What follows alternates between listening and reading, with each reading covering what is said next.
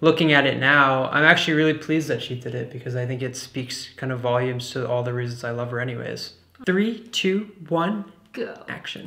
No, it's not go, it's action. Action. Okay, we'll do with this. Three, two, one, action. I don't even know how to start this video because I've never filmed an English video, but I thought this is the perfect occasion to switch to English because I'm here with Scott, who is my fiance. What? What? Some people might have already seen it on Instagram.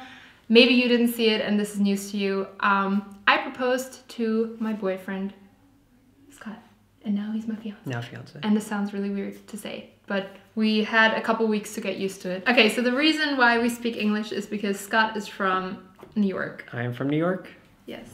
And people have been asking where we met, so maybe that's a good question to start on. So, as Anna said, I'm from New York, but we did not meet in New York. We met in uh, probably the more American state you can go to, a little place known as Texas. Texas. Um, and yeah, we both met at a work conference. And yeah, we met at one of the after parties on the last day Yeah. and hung out for five hours before both flying back to New York and Austria, respectively. Yeah. And uh, yeah, then we continued chatting. What I liked about us meeting though was that we met and we didn't see each other again until three months after that when I came to New York.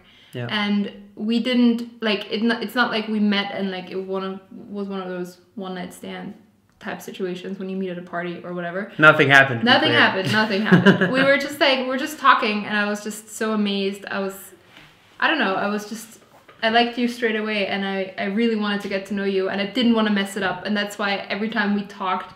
Every message I would send, I would like read it so many times. Like I didn't want to mess this up. I was like, "You're." I, I just want to have the chance to get to know you, and so we were talking on Instagram until we finally met three months later in New York and I made it sound like I was going there. I mean, I was going there all by myself, but I made it sound like I was there in an Airbnb, which I was for the first couple of days, but then I basically mm-hmm. moved in with him because it was easier. 30 Grad hier. Also sehr cool. Ich freue mich, freue mich voll auf den ersten Tag in New York. And it was just kind of weird because partially I wanted to film my trip, and on the other hand, I was meeting someone for the first time, really, and we were going on our first dates, and I don't know, it was kind of for me as a YouTuber or doing this professionally, it was kind of weird to not show too much of that new relationship I was getting myself into. Yeah, I mean, it definitely was a strange dynamic because we went from having met each other for a couple hours in a city that we're not from to talking online for three months to basically living together after the first week in New York that you came to New York. Yeah. And so, we just saw each other every day, and then I didn't have anywhere else to stay. Like my Airbnb was only booked for a couple days, and then I basically just I mean, I think we both we both kind of we didn't talk about it, but I think we both kind of knew it was going to potentially go that way. Yeah. You know what I just remembered? That I was the one kind of asking if we're in a relationship as well. I just realized. In the airport after that trip. yeah. Yeah. Because we, we did a little road trip, or he joined my road trip towards the end of my US trip.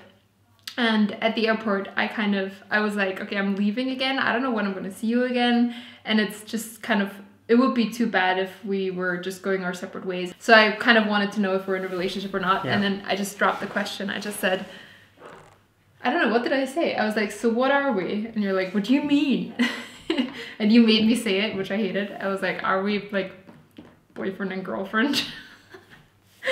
Of course, you did it right before you got on the plane. yeah, it was like it was like when they already called. and also called even even with the question i would say like the next five times that we saw each other you know after five six weeks uh, in between in between you know meeting again it was always like the relationship was brand new yeah, at least that's the way it felt to me yeah, like yeah, yeah. it was like we go back to being kind of like online strangers again to like them being in person and seeing Yeah. like you know is this what i thought it was as good as i thought it was six weeks ago or four weeks ago It was this and, uh, weird interval of not seeing each other for five weeks and then seeing each other for like three weeks. but i was never really hard. disappointed i think it always got better Yeah, me too. Oh, um, the main reason I wanted to film this video is I wanted to film it because I got so much positive feedback from women out there that said that they never even considered proposing. And I personally made up my mind last November to do this. Um, I did it just because I had the perfect moment in mind and my friend encouraged me. But after I, I decided to do it, actually one of my favorite YouTubers, Hannah Witton, uploaded a video explaining why she proposed to her husband, and it really encouraged me. So I thought, why not film a video myself, sharing my story, because I think this is something that should be more normal and more accepted in our society, and I think we can contribute by telling our story. So that's a little bit of the background. And now I think uh, everybody wants to know how I did it.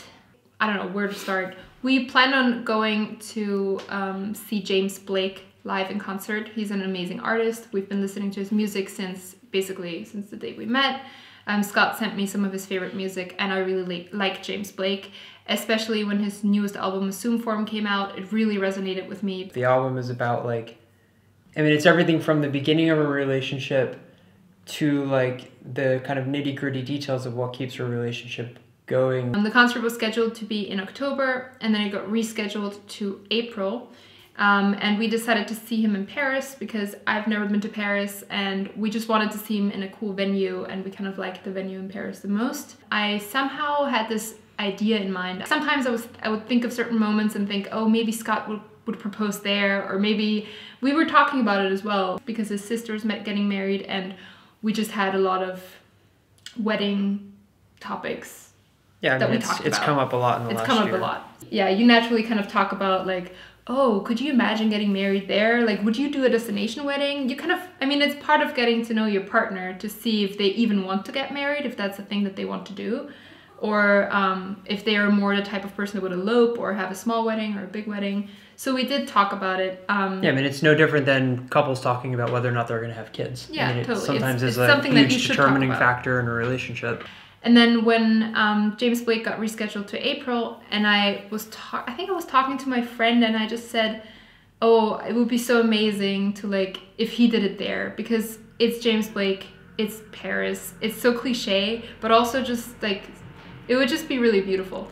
Um, and then she said, "Why don't you do it?" And I had never considered proposing myself because I always wanted to be the one that is proposed, being proposed to. Yeah. I think it's partially because it's just a norm that we grow up being surrounded with. The man asks, but also as a woman, just being the one that is Pursued. pursued is just the natural instinct or the natural I don't know what what just people want or imagine having one day and I always of course had that too because I grew up with it um, but then I put it I put that thought aside and I just thought why not like I want to show him how much I love him and that I want to be with him and why do I have to wait for him to show me? We're equal parts in a relationship. It's not like one of us gets to decide and one of us should just obey, you know what I mean? And I wanted to I wanted to do that. And I just I couldn't I'm a type of person when I put something into my head that I want to do or want to have, I don't back out. Like it's really annoying. Like I can't stop thinking about it. I would lie awake at night for hours and just think about it. And so of course I couldn't let that thought go. And I planned the whole thing, um, which was very hard for me because I hate having secrets or I hate having things like big things like that that only I am thinking about and I can't share with you. So that was really hard, which is also why I reached out to some of his friends to talk to them about it, kind of get their opinions, but also get their help and have someone that I can talk to during this whole process. Um, so I mean, I, I was just surprised that you managed to keep it a surprise for, for that long. it's hard for me to keep stuff like that in as well. Um, I mean, it was also something I was thinking about. No, I was like the, the thought flashed across my mind, like maybe propose in Paris at the James Blake concert. But I also just assumed from our previous conversations that you weren't ready, and so it was which is something crazy. that felt like that more where you got more in the distance. I mean, it's like possibly an age thing. Yeah, he's um 30 and I'm 23. I had to think about that. I'm turning 24 soon. I had no I had no conception that you were Yeah. going to propose. He was joking though, which he can't remember, but he said a couple times stuff like, "Oh, when Anna will propose to me," just like as a joke. Yeah, or- maybe my sixth sense knew. Yeah, just- you said the, the two like- brain cells never clicked. Yeah, you said things like, "Oh, we'll just pretend we're engaged and we'll say that you were the one who asked because we're a modern couple." And I was like, "How do you know?" so yeah, it was hard keeping it a secret from November on, But um, I was really excited. I even got a ring, which I'll show you in a minute. Um, and everything was perfect. Everything was planned. We would have gone to New York right after Paris, um, and the concert would have been April 14th. Yeah. Um, but then the coronavirus happened. We were in South Africa, and we got the news that I mean, it all happened very quickly, as you all know. Um, all these countries, especially in Europe, got infected. We were still hoping for the best, but of course, it was inevitable, and all the countries closed their borders. All the concerts got canceled and so did the James Blake concert. And since I am very impatient, by the time we got back to Austria, my head was just full of I should do it, I should do it, when will I do it? I was thinking of different ways to do it, but I hadn't come up with a solution. And then Scott said to me, Oh, James Blake just announced he's doing a, an Instagram live concert. And I didn't, like, I thought about it for a second. Even my mom said, Oh, maybe you should do it during that live concert. And then I said, no, it won't be so romantic. No, we have to give your mom the credit then. Yeah. no, but I actually, she was like, should I drive to Vienna and get the ring? Because the ring hadn't arrived yet. And that was my main reason why I didn't want to do it during that Instagram live. First of all, because also we're in my family home, in my childhood room. It was not really romantic. I always envisioned us getting engaged and then being on vacation or being somewhere nice. Um, I mean, this is nice, but it's not, it's not very intimate. Um, but then I said, no, don't get the ring. I'm not ready yet. Like, it, it will be too fast because the concert was announced or the live Instagram live concert was announced a day before it happened. So I didn't even think about proposing. Um, we went into the room. It was evening time, and we watched. We started watching it. I knew I wasn't gonna do it, and then I suddenly had this idea of how would how I would like to do it. The song came on that I would have done it during in at the concert in Paris. So the song started, and I was just, I just suddenly got this rush of adrenaline and this crazy idea, and I was like, I couldn't, like I said, when I have um, an idea, I'll just go for it. I just can't, can't stop myself. And so I reached for my phone and I typed into the comments, "Will you marry me, Scott?" And I sent it before I could even think about it, and it popped up on his screen because we were watching a, the video on his phone, and it was just I don't know, explain from here on how you felt because it was your reaction. I think if I was ever anticipating this and I wasn't, if there was a song that she was going to do it, it was going to be I'll Come Too. And, and probably if I had proposed during anything related to James Blake, it also would have been I'll Come Too. If it's the last thing I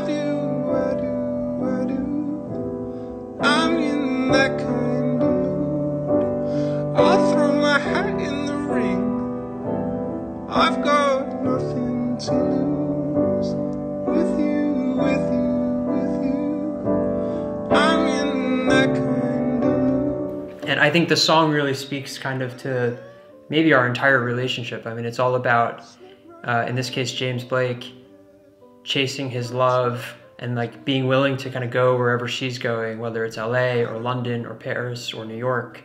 Mm-hmm. Um, and, and just being willing to kind of sacrifice and, and give things up that you know otherwise would have changed your path in life like for that other person and i think you know that's something that we've kind of both done over the last few years of our relationship and i think is like one of the foundations of what makes any relationship work um, is is that sacrifice. Oh you're going to new york.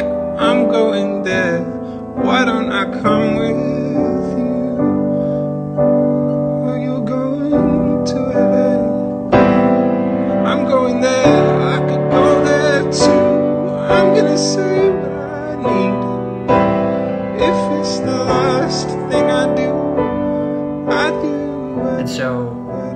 when she when she popped the question over Instagram, uh, Which is such a. I mean, it was it was a surprise. I mean, a millennial thing to do. Yeah, I guess. Unfortunately, I immediately thought it was a joke. yeah, uh, like, and I, and I feel bad for that in, in kind of retrospect. I, mean, I didn't I didn't I, think I, it was a joke. Like you funny. as a woman asking, I thought it was a joke because it just like I was so I was so taken off guard. You know what I mean? Yeah, it was not like a typical proposal setting. There was no candlelight in background. There was no I don't know. It's not the mood. I mean, but the mood was set because we uh, were yeah, basically in a one-on-one.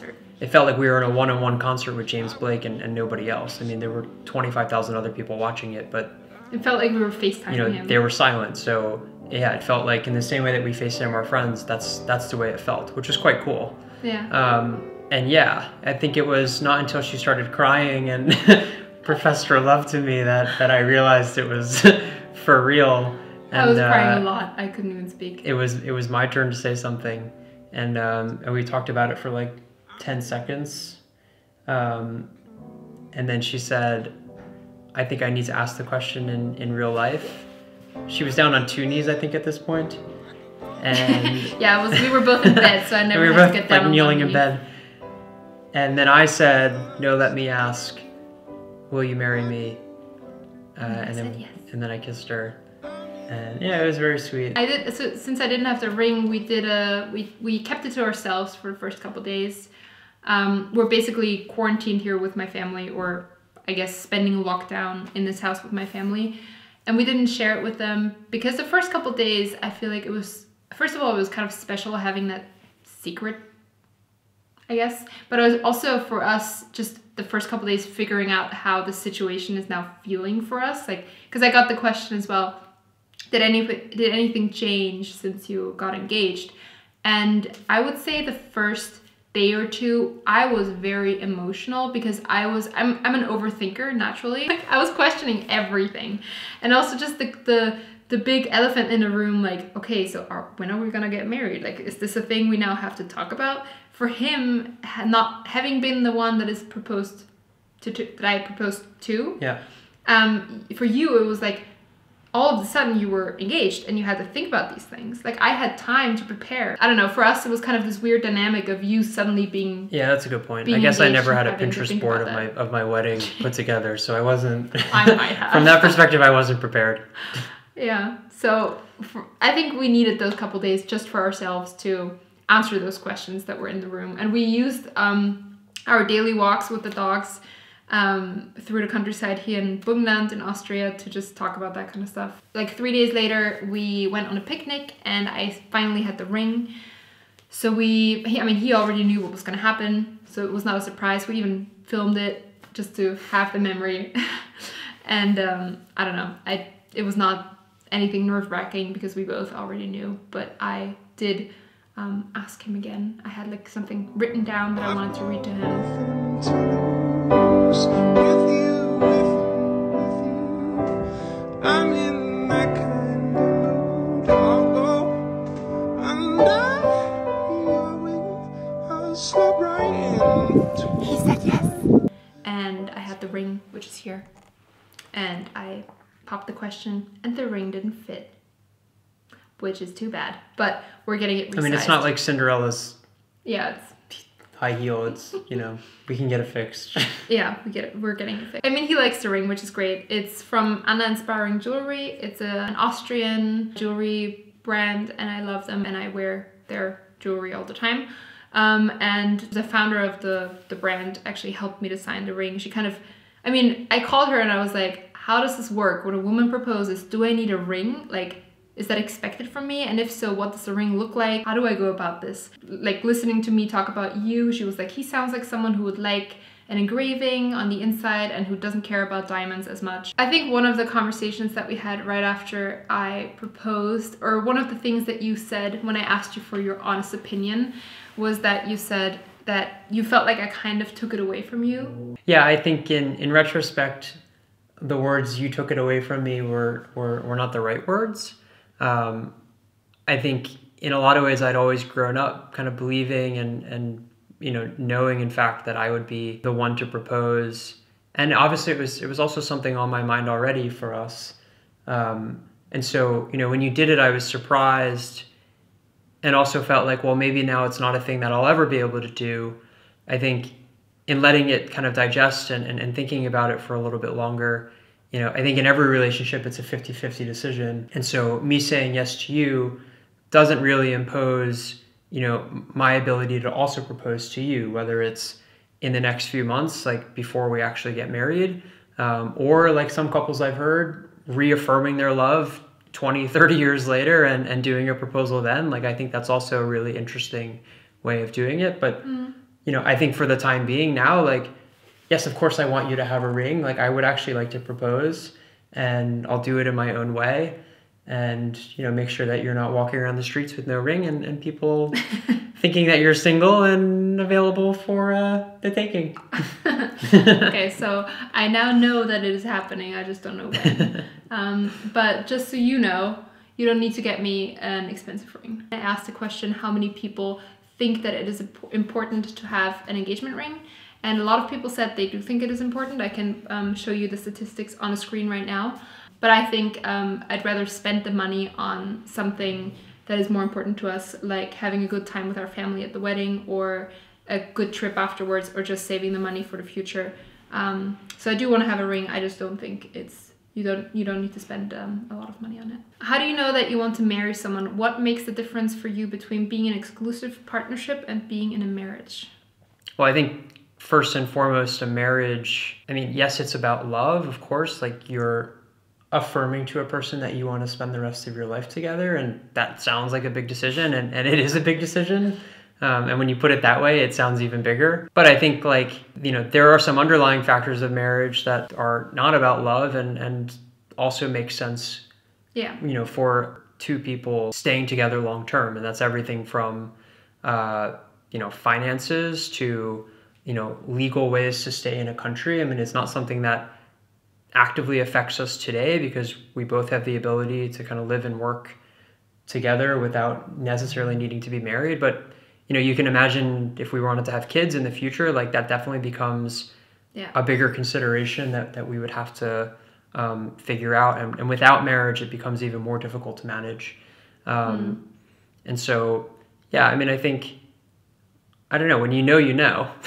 I'm not here to offer relationship advice, but like I've been in other relationships and I, you know, I, I never saw the potential for marriage in that relationship. And so, you know, and sometimes you only really know that in hindsight. I don't even know when that click was. People ask me as well, like, when did you know that you want to marry him? I don't I don't know. I mean, partially I mean, it's just gradual. Like when we moved in together in Berlin and I noticed how well we're doing living together. It's not been hard at all. It's been great. We've traveled together. We've had times where we didn't see each other. We've had we've had times when we were just getting to know each other and being together the whole time. We've been on like a three month trip in Asia together. All these things have um, just made me realize that we really work well together. And then again, having a dog together, which is not a kid, but it is just like a kid in my eyes because we love her so much. They're amazing. They're beautiful. They've got soul. They're amazing. They're brilliant. I couldn't I couldn't invent a better thing. There's nothing as good. Not a car, not money, not a house. A dog. It's amazing. And we just share this It's a child that will never grow up. yeah, we just share this crazy love for this little creature and seeing him interact with her and care for her and love her the way that he does just like made me really emotional and made me love you even more. and so like I think that's part of the reason Oh my god, I have tears in my eyes. That's part of the reason why I realized that you're an amazing person and that I want to spend my life with you is to see you be in that position and take care of Ellie. And a do. future baby? and the future baby. no, yeah. There's no baby on the way, just to be clear. No. not not that I know of at least. But uh, this is a funny question. My friend asked, "Was Ellie? How do you say eingeweiht? Was she anxious about the No, in the know. Was she in the known? Was she in? I think I did tell her. I said something to her like, "I'm gonna ask Daddy if he wants to marry me." At what point? I don't know. So she knew. Gladly she didn't say. I mean, a few months ago, my relationship with Ellie definitely got stronger. she was like, "I guess I'm gonna be stuck with him." I noticed I noticed a big difference between how Ellie treats me before and, and today.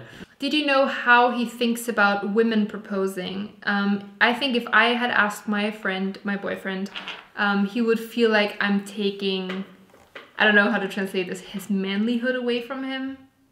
You know what I mean? I think Yeah. the the like classic societal standards dictate that the man proposes to the woman, but I don't necessarily believe that. I mean, it's a free world. Yeah. You know, like you're welcome to follow your heart just as I am, and you know, I think like looking at it now, I'm actually really pleased that she did it because I think it speaks kind of volumes to all the reasons I love her, anyways. Aw. And so, yeah. We also got the question what the reactions were from the family and how they reacted, especially to the fact that I proposed. And that was also something I was kind of afraid of to share this news with people and have negative reactions or people not understanding why I did it. But I have to say, we haven't come across any, like, we haven't told anyone who was like negatively surprised. Everyone was like, this is amazing, so cool that you did it. Yeah.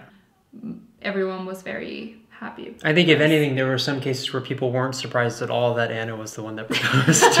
my dad was like, "That's a classic Yeah.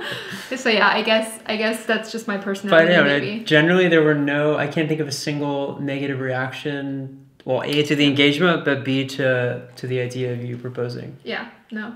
You know, and like I I mean, that's the world that we live in today. I'm sure in some parts of the world, like Yeah. you know, this would be still shunned upon, and you know that is largely speaking a, a tragedy. And I'm glad we have amazing friends and family that um, support us and support this decision of mine or of us. I guess my decision to propose to you. One last question Who made the engagement photos? My mom. Since we are in lockdown with my family, we used my mom as a professional photographer and we took some photos in um, the area where I'm from in Burgenland. And that's uh, yeah people were confused by that um, because we shared photos it looked like the engagement but we were just joking around and we just took some photos to have uh, nice photos to send to people or to print out for ourselves of us together I think we'll also set up a studio shoot as well. There are. oh yeah we are there i are some thought that was a joke but we are. No, it's true. There are some photos that I would like just for our, our book. yeah he was inspired by um, some of our friends Lainey and Martin I can put in a photo here because they're just so beautiful and um, we really love that photo shoot and Yeah. we were thinking of doing some black and white photos maybe with my friend Marco hit me up um, when this whole thing is over um, we might do some cool photos okay I think that's it I think that was it. Um, we did get, of course, some questions on when and where and how in terms of wedding, but we would probably answer that in a different video, or I'm gonna answer that by myself. But we don't really have anything figured out yet. August 27th, Tuscany, Italy. I'm kidding. So I hope this story inspired you and maybe opened some of you up to the possibility of women proposing as well. Um, yeah, I mean, I think the, the idea that we even question whether or not it's acceptable for women to propose still shows how far we have to go in kind of breaking down these gender norms. Um, and yeah, we've got, as a society, I think we have a lot of work to do. So maybe this video and our experience is just one more small step in that direction. Yeah. And uh, I also want to say that getting married is also not something that, I mean, I don't want to make this sound like this is a necessary step in every relationship. There's no one size fits all. Everybody gets to make their own rules and decisions. And we decided to get married because we always envision ourselves getting married. Um, but there's all different kinds of relationships, all different kinds of people out there. And if you want the man to propose, that's absolutely okay. If you don't want to get married at all, that's fine. If you get inspired and you think you're you as a woman maybe want to propose, that's great. So um, I think that's the message, the main message that we wanted to share. That you shouldn't just obey certain norms or rules that are set out by society, but you should just make your own and just ask the question do i really want this or how do i want this or is this really important to me? I think those things are really important. Well said. thanks. If you like this video um, please give it a thumbs up. It really supports my channel. I would love to see um, if this topic is interesting to you. I would i'm happy to make more videos like that. Sorry if you're german speaking and didn't understand anything. Um, but It's my fault. you made it all the way It here will come. if you're English English speaking and you would like to see more videos from me in this language, then maybe let me know as well. Maybe that's something I want to do in the future. Uh, yeah. And if you have any experience with this topic, or if you want to share your own opinion, leave it down below in the comments. I'm really interested to see what you think about all of this. And I think we'll wrap it up because it's been a long video and we are hungry. Are you hungry? I'm hungry. Okay, let's eat. Bye. Bye.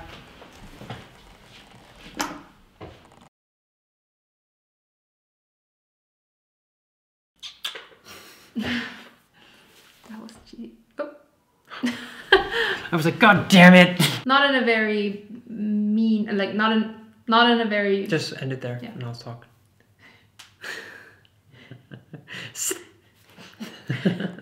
you are. You, ooh, you stinky! Oh my God! Stinks. You smell that? Oh.